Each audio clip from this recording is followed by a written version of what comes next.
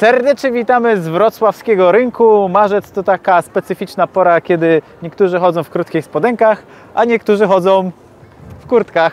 To było spontaniczne, wiedziałem, że tam na pewno ktoś z kurtką stoi. Słuchajcie, to będzie inny odcinek, w związku z tym, że słońce mamy z tamtej strony, z tamtej strony wieje, mi przypada iść do tyłu, żeby było trochę dynamicznie, a Wy będziecie podążać za mną. To będzie inny odcinek.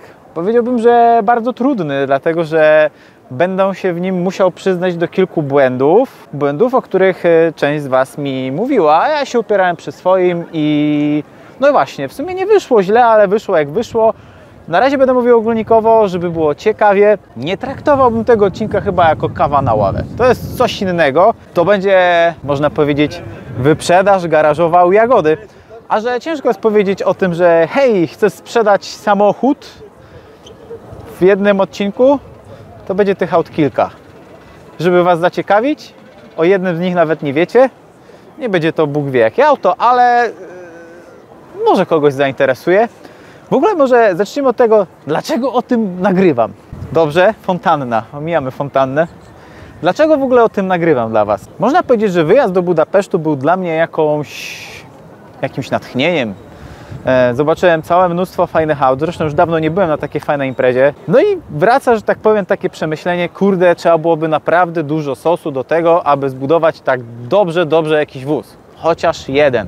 A ja dotychczas tak naprawdę się nie doczekałem nawet chociaż jednego tak naprawdę fajnie zbudowanego, bo no zresztą kto ogląda odcinek z Budapesztu, ten wie, że w tym roku nie wystawiałem się z 70, tylko z 50. Dlaczego nie z 70? Bo część z Was się dziwi, że przecież to jest lepiej zrobione auto. No tak, ale 70 jest już stara, swoje już przeszła, jest zużyta i tak naprawdę dużo ładniejszym estetycznym projektem jest Nissan 350Z. Więc moi drodzy widzowie, z tego pięknego wrocławskiego rynku wezmę Was w podróż po moim garażu. Podróż po moim garażu, który to też muszę przyznać, rozrósł się za bardzo. Długo się zastanawiałem, który z wozów może iść na sprzedaż, dlatego że z każdym wiąże się jakaś historia, która jest zazwyczaj jeszcze niedokończona o zgrozo, um, jakieś plany. No i muszę zrezygnować z czegoś, aby tak naprawdę móc się skupić na innych pomysłach. Jak wiecie, priorytetem dla mnie będą teraz dwa projekty. E, VR6 Turbo w A3, które jest już naprawdę w dalekim stopniu zaawansowania, a na to też trzeba pieniędzy i no, nie mam żadnego wsparcia finansowego, na wszystko sobie staram zarobić się samemu, więc trzeba jakoś kreatywnie do tego podejść. Mamy do wyboru dwie ścieżki, albo cupać tak jak do tej pory, czyli małymi kroczkami i będzie to trwało długo, albo zrobić to rasa dobrze, czyli na przykład sprzedać jakiś wóz i spieniężyć go w projekcie VR6, tym samym nadając tempa VR6. No i dlatego przychodzę dzisiaj do Was z propozycją sprzedażową, można powiedzieć, że pięciu samochodów, co będzie nadal mniejszością mojego garażu. Nie wiem, kiedy tych aut się tyle zrobiło. Z przymrużeniem oka nawet sześciu samochodów, co nadal będzie mniejszością samochodów w moim garażu. Będzie mi to na rękę z kilku powodów. Po pierwsze, tak jak wspomniałem wcześniej, przyspieszę z grubszymi projektami, które wymagają dużych nakładów finansowych.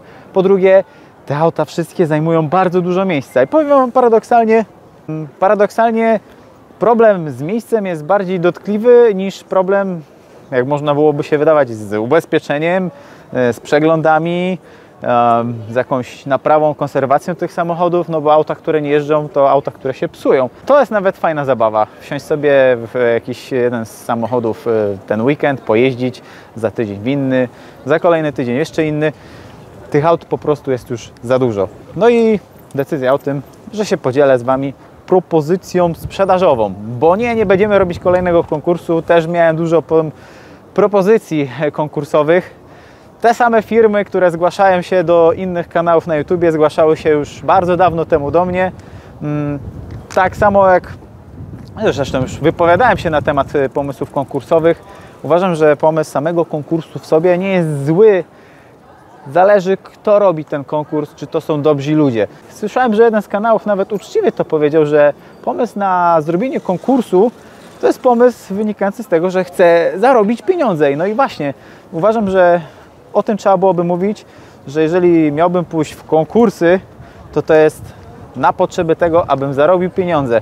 Ja na takie rozwiązanie się nie zdecyduję. Postanowiłem, że normalnie zaproponuję ceny za auta, które mnie urządzają, więc nie będzie to żadna okazja. E, Jeżeli chociaż jedno się sprzeda z tych pięciu, to na pewno będzie mi dużo łatwiej ruszyć z kopyta z projektem VR6 czy S4. Przekrój samochodów będzie naprawdę szeroki, dlatego że mm, będą zarówno takie totalnie niestuningowane, seryjne i takie, które zostały popsute już przeze mnie jakimś tuningiem. Dla niektórych będzie to wartość dodatnia, dla niektórych wartość ujemna. Dla każdego coś się znajdzie. Będą auta stare, będą auta nowe, będą auta tanie, będą auta drogie. Zaczniemy od Golfa 4. Golf 4, Power 5. Naprawdę z wielkim żalem mówię to, że chciałbym go sprzedać. Uwielbiam dźwięk rzędowej piątki. Bardzo mi się dobrze trafiło w ogóle z tym Golfem, bo Buda jest w stanie fenomenalnym. Tam korozji w ogóle nie ma. Można byłoby się dopatrzyć w dwóch miejscach korozji, ale takich całkowicie niegroźnych. Jedno znajduje się w, na tylnej klapie, drugie e, przy progu na końcu od tylnego koła, e, prawy próg. Naprawdę niegroźne rzeczy, z którymi sobie spokojnie można poradzić. Tak poza tym auto jest naprawdę okazją dla kogoś, kto szuka takiego modelu, dlatego że mamy po pierwsze Golfa 4, dobra jeszcze raz, mamy Golfa 4 z fajnym silnikiem VR5. Nie mamy już starego typu układu zapłonowego, gdzie mamy 6 przewo- 5 przewodów. Mamy po prostu fajkocewki na każdy cylinder, czyli tak jak było w tak zwanym Aquenie. Mamy VR5, mamy 6-stopniową skrzynię biegów, mamy 4Motion, mamy budę w oryginalnym lakierze, mamy symboliczny przebieg, dlatego że przecież te auta mają już swoje lata, a o ile pamiętam, tam jest około 205 tysięcy kilometrów, coś ponad 200, dlatego że w momencie, kiedy ja go kupowałem, było 198. Kilka tysięcy kilometrów tym zdążyłem już zrobić. Golf pojechał do Chorwacji z powrotem, całkowicie niezawodnie, nie bierze oleju. Właśnie, zapomniałem, przeprowadziłem jeden drobny tuning. Dla niektórych będzie to in plus, dla niektórych będzie to wada. Golf został wzbogacony o instalację LPG firmy Stack. Nowoczesna instalacja, doskonale się spisująca i tak naprawdę dzięki temu, no bo Golf ma apetyt y, na paliwo, pali około 12 litrów na 100. Dzięki temu jazda tym autem jest po prostu ekonomiczna, a różnicy w mocy nie ma żadnej. Co mogę jeszcze powiedzieć o Golfie, panie operatorze? że na gaz pojechał do Białego Stoku. A no tak, byliśmy w, St- w Stagu w Białymstoku, pojechaliśmy tam na montaż. Zresztą jest z tego odcinek, także kto ogląda kanał, ten doskonale wie. Ale no, tak się można zastanawiam. wspomnieć też o tym, że wydech jest zmodyfikowany. Aha, no popsutych. faktycznie. No właśnie, e, doszło kilka rzeczy. Po pierwsze, zmodyfikowaliśmy wydech, usuwając jeden z tłumików.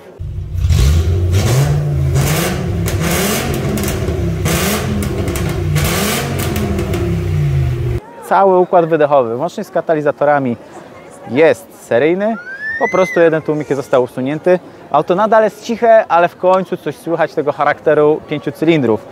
Dodatkowo dołożyłem e, felgi, felgi NKE, nie pamiętam który model, 17-calowe na nowych oponach Nokiana, które naprawdę super kleją. Jak byliśmy na płycie poślizgowej, e, no to trzeba, no mieliśmy, znaczy może nie problem, ale pod wrażeniem było, z jak dużą prędkością trzeba było jechać w zakręcie, żeby tego golfa żeby tego golfa wprowadzić w poślizg. E, tak więc mamy fajne felgi grafitowe do srebrnej budy jak znalazł, nowe opony letnie, napę na cztery koła. Z tego co pamiętam mam do niego zestaw kół zimowych, e, 15, aczkolwiek to już jest tak naprawdę nieaktualne. Mogę go dorzucić. Dlaczego nieaktualne? Bo założyłem z przodu tarczę hamulcową 312. Ja mam e, operatorskie pytanie. No, E, czy felga 15 wchodzi na zmodyfikowane hamulce? No właśnie dlatego mówię, że nieaktualne, bo mogę dorzucić ten komplet kół, ale trzeba brać pod uwagę, że on z przodu na pewno nie wejdzie. Bo nie wspomniałeś o hamulcach, No właśnie, dążę była konwersja. dążyłem do tego.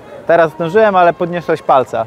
Ale dobrze, jesteś czujny. Tak, zmodyfikowany układ hamulcowy w bardzo prosty sposób, dlatego że tam zakładamy troszeczkę większe jarzmo i uzyskujemy możliwość założenia tarczy 312 mm. Co zrobione? Mamy przewody w stalowym oplocie, nowe tarcze, nowe klocki i tyle. Tak naprawdę to chyba wszystko, co można powiedzieć o golfie. Jest dla mnie nie lada gratką, dlatego że jest on w stanie blacharskim. Ide... No dobra, idealne to może przesadzam, ale naprawdę bardzo dobrym. Ma bardzo drobne mankamenty. No tak, wnętrze jest kompletne. No kurczę, nie ma do czego się przypieprzyć. To jest No, naprawdę wszystkie cztery szyby w prądzie to lepiej niż w czerwonej. racja, zgadza się. No i fajnie brzmi. Słuchajcie, cena, bo na pewno na to czekacie. Tutaj była naprawdę gorliwa dyskusja, za ile takie auto wystawić. Moja propozycja dla Was 19 tysięcy do negocjacji, ale konstruktywnej. Możemy coś dorzucić do auta, możemy coś ściągnąć z samochodu i w ten sposób lawirować z ceną. To by było tyle, jeżeli chodzi o Golfa. Grubszy kaliber. Nic nie wchodzę, bo zaraz to Może się usiądźmy na ławce. wywrócę się z wrażenia. Tak, to prawda. Już wspomniałem o tym w jednym z poprzednich odcinków e, z Kamilem z Silnikowni. Na sprzedaż będzie Renault Megane RS, rocznik 2021, początek roku, czyli ta wersja już poliftowa. No nie muszę tego auta przedstawiać, było ono głównym bohaterem tych wszystkich testów olejowych, e, walki z ekologią.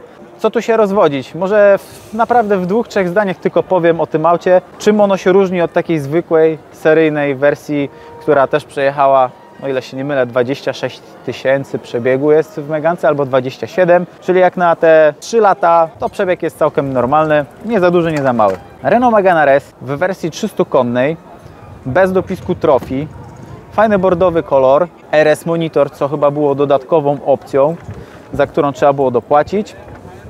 Co, słoneczko? Tak. Co zamiana? Teraz ty idziesz do Tak. tyłu? Och, jaka ulga. To panie operatorze, idź sobie tędy. Wracając do Renault Megane RS. Chyba w tą stronę gorzej mi idzie, bo się jąkam. Do dyspozycji mamy 300 koni mechanicznych, które zmierzyliśmy na hamowni i co ciekawe, e, seryjnie nie wypluwała ona 300 koni, dlatego że była wyposażona w GPF-a. GPF został wyprogramowany, usunięty. U Kiwiego jest z tego odcinek. GPF-a mam do dyspozycji. Gdyby ktoś chciał wrócić do pełnej serii, można tego GPF-a z powrotem założyć. Ta modyfikacja jest całkowicie odwracalna, jednakże no, była znacząca różnica w mocy, dlatego że auto z GPF-em wypluwało zaledwie 280 koni, a bez GPF-a 300, czyli tyle ile powinno. Renówka jest jeszcze w leasingu, dlatego to jest tak naprawdę oferta na lipiec w górę. Chciałbym to auto spłacić do końca, ale już ogłaszam się z tym, że może będą jacyś chętni na zakup takiego samochodu. Do auta dorzucam e, drugi zestaw kół, kompletny, dlatego że renówka na lato ma koncavery, 19 w seryjnym rozmiarze opon, nic tam nie kombinowałem, z czujnikami ciśnienia, na fajnych oponach Continentalach Sport Contact 7 Jedna z moich ulubionych opon. Continental Sport Kontakty. Na, naprawdę to odmieniło to auto. Tak jak na początku przeczyłem na skrętną tylną oś, yy, co się później okazało w praniu, założyłem zimówki i było takie, o kurczę, to auto nawet fajnie jedzie. To jak założyłem Continentale, okazało się, że auto naprawdę fajnie się klei i tak skrętna tylna oś w końcu zaczęła działać. Mamy do dyspozycji jeszcze drugi zestaw kół, kół zimowych na oryginalnych RS-owych 19. Z tego co pamiętam opony Hankooki, ale nie pamiętam które, też nowe, z symbolicznym przebiegiem. Coś było jeszcze modyfikowane? Nie chyba. Możemy sobie powoli skręcać. Swoją drogą jesteśmy w rynku. Tutaj mamy pręgierz, ratusz. To tak e, wykorzystajmy już to, że jesteśmy na miejscu. Nie będziecie patrzeć tylko na moją twarz, ale przy okazji sobie pozwiedzacie wrocławski rynek. No dobrze, no to może przejdźmy do ceny.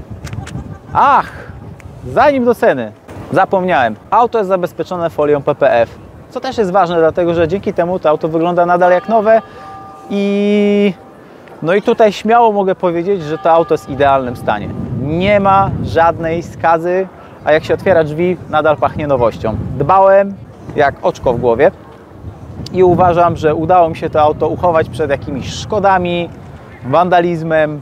Jak na ten przebieg, czyli 27 tysięcy przebiegu, auto wygląda jak salonowe. Ja może to mało wiarygodne, ale mogę potwierdzić, że jak się wsiada do tego samochodu, to jak salonówka. No czuć zapach nowości No, jeszcze. to jest takie, te no. uszczelki nawet takie Zresztą- wywoskowane. Każde z dzisiejszych aut e, ma swój garaż, ma swój pokrowiec e, i na to auto nigdy nie pada deszcz, ani nigdy nie jest mu, nie jest mu mokro, ani nigdy na niego nie wieje, nie grzeje, słońce go nie przypala, także tutaj wszystko jest pod tym kątem jak najbardziej idealnie. Cena za Renault Megane to będzie najdroższe auto z tego zestawienia. Moim zdaniem cena za wszystko to, co Wam wymieniłem, żebym się tak naprawdę, można powiedzieć, e, pozbył wszystkiego, niczego sobie nie zostawiając, czyli bez sprzedaży na raty, to 190 tysięcy złotych. Tutaj w sam raz jest bardzo duże pole do popisu, chodź sobie tutaj tym Mhm. Tutaj w sam raz jest bardzo duże pole do popisu, dlatego że można zrezygnować z kół, zrezygnować z oryginalnego GPF-a. No i tyle. tak naprawdę można wziąć na zimówkach, na letnich, do wyboru, do koloru, jak nowy właściciel sobie zażyczy.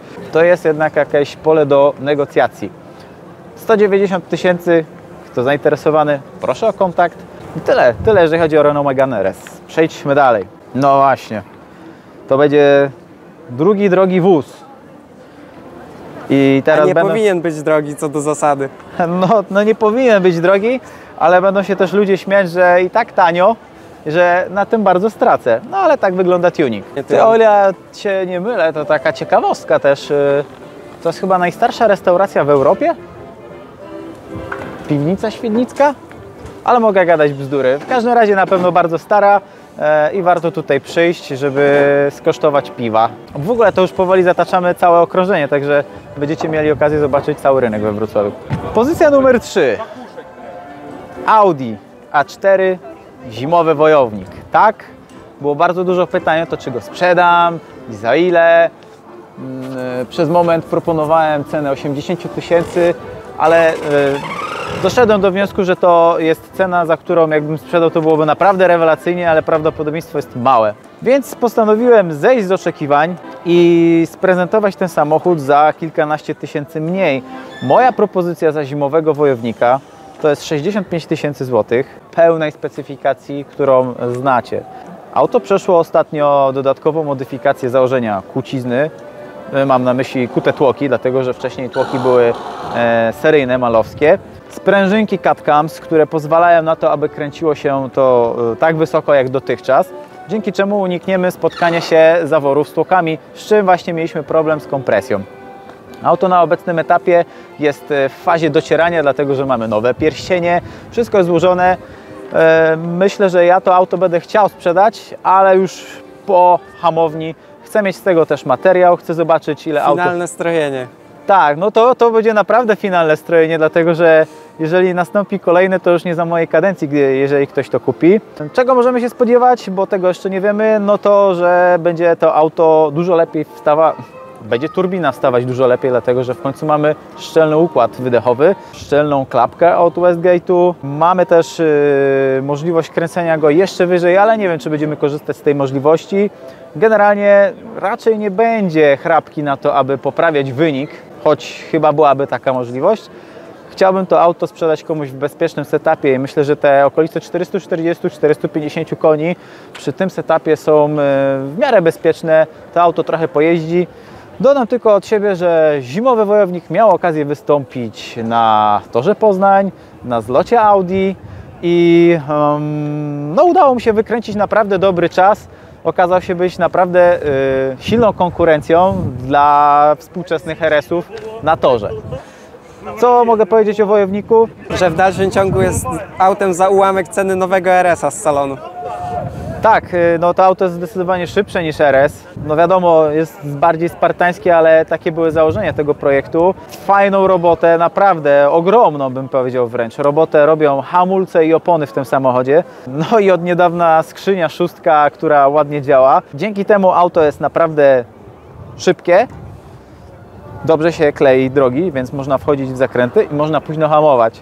Słowem, to, czego potrzeba do szybkiej jazdy. Gdyby ktoś chciał się pobawić w jazdę na torze, to myślę, że Wojownik jest do tego naprawdę dobrą bazą. Co teraz ja idę do tyłu? Dokładnie. Dobra, zmiana teraz banana. Chodźmy na moją tą, na moją ścieżkę. Słuchajcie, zimowy wojownik to auto, które jak najbardziej mogłoby się nadawać do jazdy po torze, oczywiście amatorskiej. Nie jest to auto spełniające jakieś wymogi, dlatego że choćby nawet yy, szelki nie, nie mają żadnych homologacji czy, czy kubełki, ale myślę, że jeżeli ktoś by chciał takim autem pościgać się po torze, to naprawdę już niewielkim nakładem, bo przygotowanie auta do takich zastosowań jest bardzo kosztowne. Już niewielkim nakładem można byłoby to auto dostosować. Cena jest ruchoma 65 tysięcy. mm, Przy czym y, tutaj te negocjacje, tak jak e, w przypadku poprzednich e, propozycji, byłyby ruchome w zależności od setupu, w jakim bym sprzedawał to auto.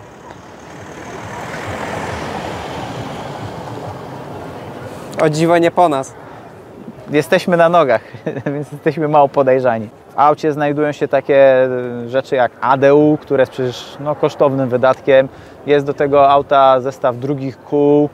No, jest na jakieś pole do manewru, można spróbować negocjować, gdyby ktoś był zainteresowany. Jak najbardziej można składać swoje propozycje cenowe i tyle. Z rzeczy, które są tam do zrobienia, mi się nie podoba e, przednia maska i przednie botniki, które są z auta, które no, są od wojownika, to są, Są z tego w stanie średnim. no, tam jest szpachla, to auto kiedyś miało jakąś kolizję przodem, zresztą z tym się nie kryłem, przecież jeden z pierwszych odcinków y, to była, y, było wstawienie przedniej podłużnicy, która była sposób haniebny naprawiona. Auto znacie, więc tak naprawdę nie mam tu nic do ukrycia. Kto byłby zainteresowany, wszystkie odcinki są dostępne, można przejrzeć, można śmiało też pytać, komu się nie chce oglądać. No przede wszystkim jest też odcinek z samego podsumowania, co jest w samochodzie. Tak, i tam jest też, yy, co prawda, jeszcze bez tłoków i sprężynek oraz robocizny, która do tego jest potrzebna, wyszczególnione ile co kosztowało. Także można powiedzieć, że sprzedaje auto za 65 tysięcy, które w budowie kosztowało około, no myślę, że z 80 tysięcy, jakby uwzględnić te aktualne prace.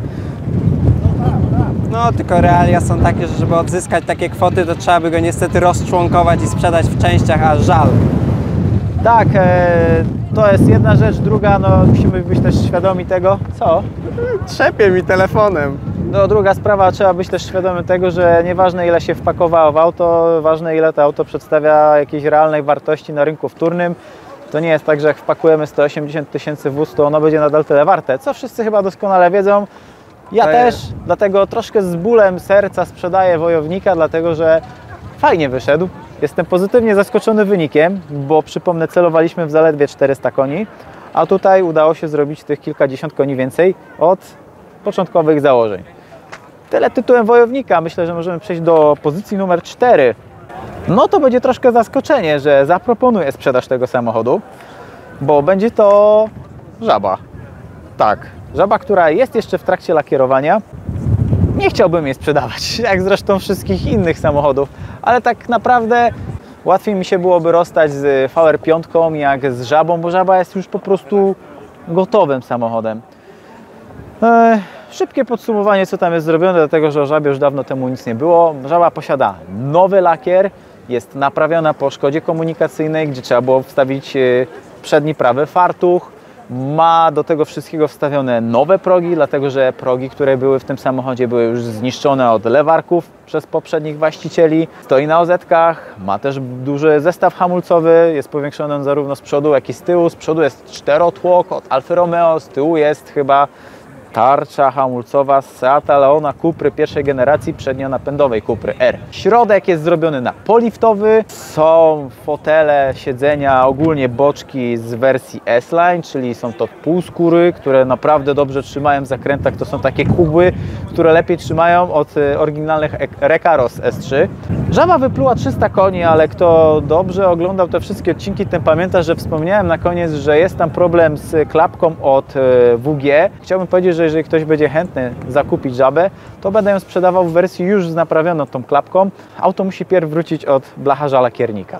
A już chwaliłeś się w internecie, jakiego koloru jest żaba? Tak, było Tak, pokazane, odcinek. było, było, było. Yy, kolor nowy, ładny, lakier. Na całym samochodzie za wyjątkiem komory silnikowej, tam nadal widać zielony.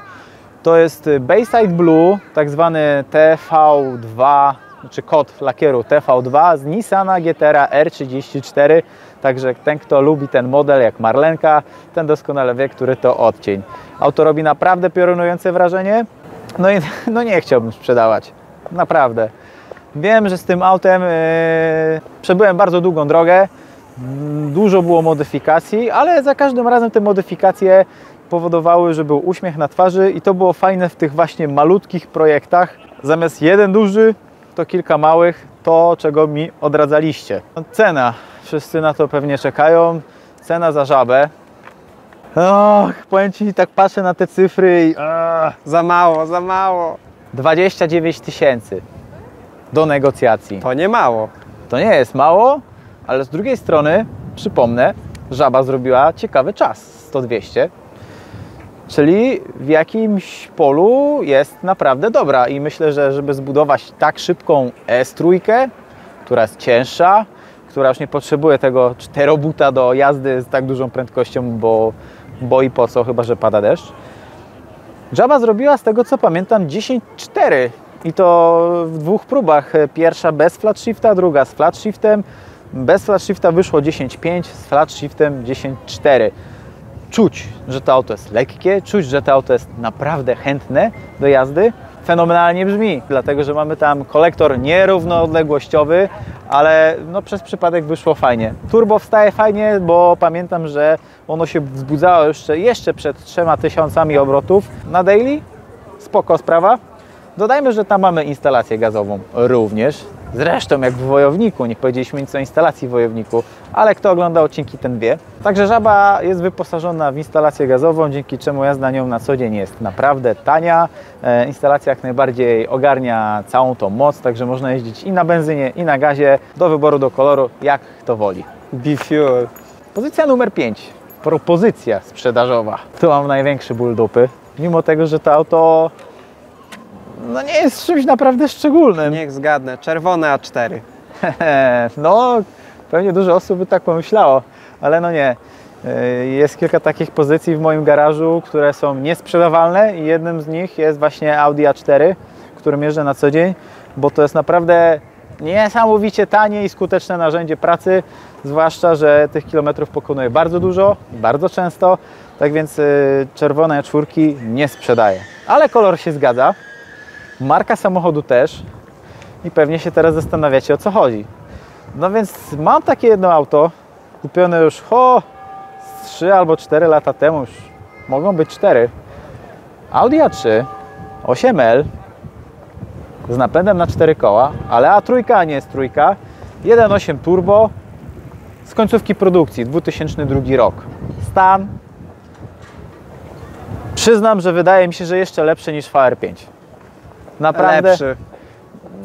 tam wiem, że no nie można tego powiedzieć, że jak się wsiada, to czuć nowością, ale nie zdziwiłbym się, jak dałoby radę do tego wsiąść i poczuć nowość. Auto ma, z tego co pamiętam, chyba 180 tysięcy kilometrów przebiegu. Kupiłem je ze Szwajcarii, ale nie chwaliłem się tym, dlatego że chciałem chociaż jedno auto zrobić takie, o którym Wy nie wiecie. No teraz się już dowiecie, nawet jak je nie sprzedam. Kto by mnie tam rozpoznał w czerwonej trójce? E, Mam do niego mnóstwo gratów, ale nie będę sprzedawał tych gratów, dlatego że jeżeli któreś za trójek mi zostanie, no to będę mógł je wykorzystać ponownie.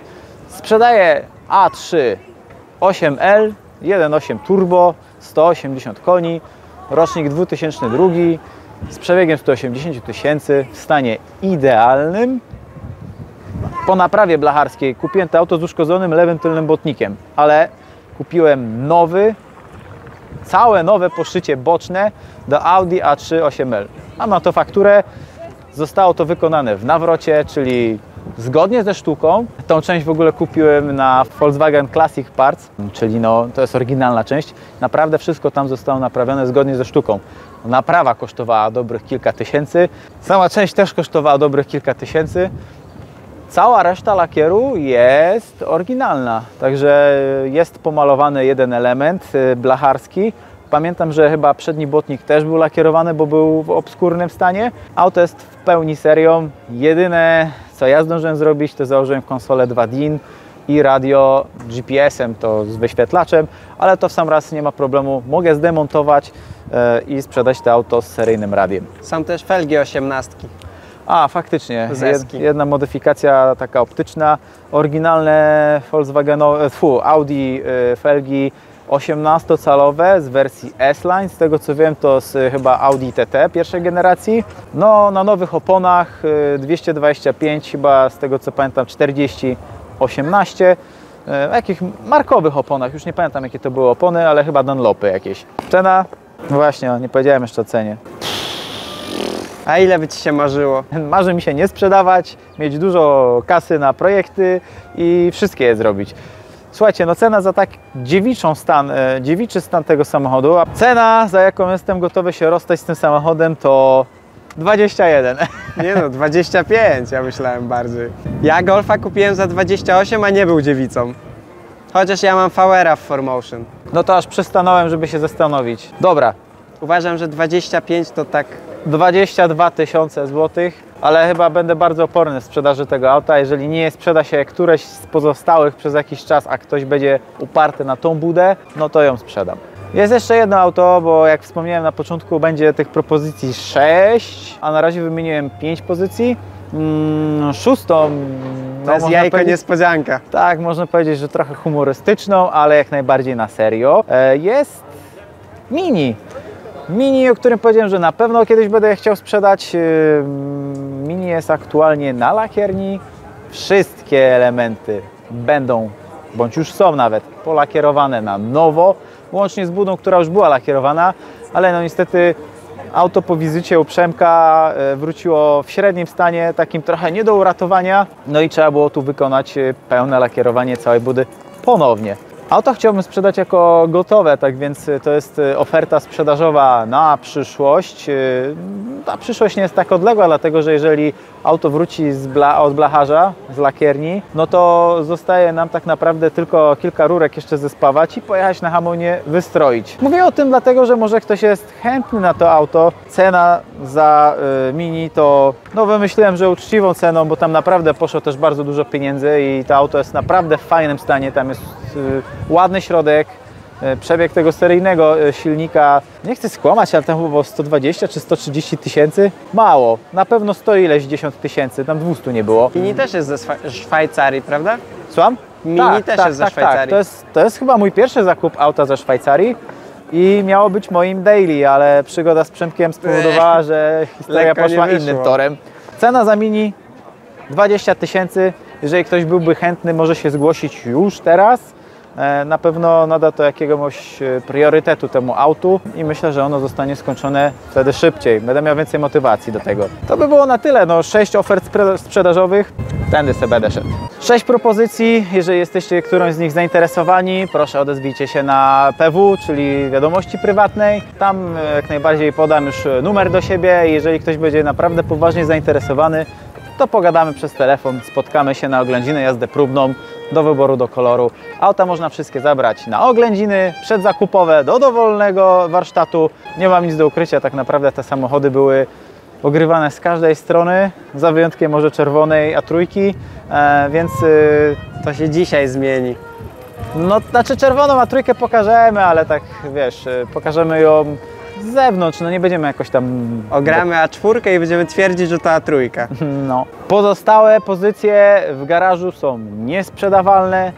Zetka, jedna, druga, absolutnie nigdy, ich- nigdy ich nie będę chciał sprzedać. Eee, Tak samo VR6, no chcę bardzo ukończyć ten projekt i w końcu zacząć nim jeździć. Tak samo S4, które przedstawiać będzie coraz wyższą wartość z każdym rokiem, jeżeli zostanie stuningowane z głową. Na pewno któreś z tych aut y, stanie się prędzej czy później jakąś moją wizytówką na imprezach motoryzacyjnych, tak więc tym większa jest motywacja do tego, żeby spróbować sprzedać któreś z tych, które Wam zaproponowałem. I co? I chyba tym akcentem będziemy kończyć odcinek. Odcinek z wrocławskiego wietrznego rynku. Mam nadzieję, że ten wiatr nam nie pokrzyżował planów nagraniowych i że dźwięk jest przyzwoity. Dajcie znać, co myślicie w ogóle o tym pomyśle. Ja chcę się przyznać do błędu, o którym wspomniałem wcześniej, czyli że poszedłem w kilka drobnych projektów zamiast w jeden gruby, aczkolwiek to była przyjemna ścieżka, która doprowadziła mnie do tego, że mm, nie mam żadnego jakiegoś grubego auta, ale przeżyłem kilka fajnych przygód, których e, no nie żałuję tak naprawdę. Po prostu zablokowało mnie to, jeżeli chodzi o możliwość tuningowania na grubo i stąd decyzja o tym, aby sprzedać te samochody. Kolejna sprawa, na to, żeby y, posiadać tych aut tak dużo, trzeba mieć na to miejsce. Ja to miejsce mam, ale jest ciasno, tak więc y, no naprawdę rozsądnym jest y, pozbyć się tych samochodów w jakiejś części i się odblokować, jeżeli chodzi o miejsce, jeżeli chodzi o fundusze jeżeli chodzi o tuningi. Tym akcentem kończymy z rynku. Wszystkich serdecznie pozdrawiam. Panie operatorze, ma Pan coś do dodania? Że nie ma to jak sprzedać 6 samochodów, żeby załadować te pieniądze w kolejne 6 innych.